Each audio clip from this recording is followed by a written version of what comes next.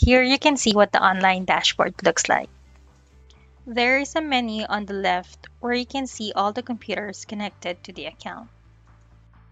You can divide the computers into groups for your convenience. If you click CleverControl at the top, you will see the general statistics for all computers connected to this account.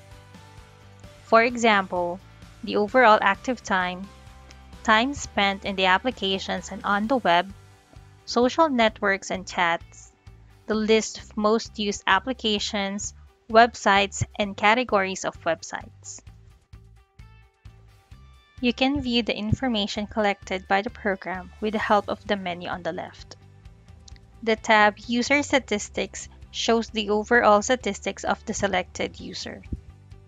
The statistics report includes the most used apps and websites and the time spent on them categories of the websites that the user visited, summary activity including active and inactive time, last used URLs, search queries, and applications.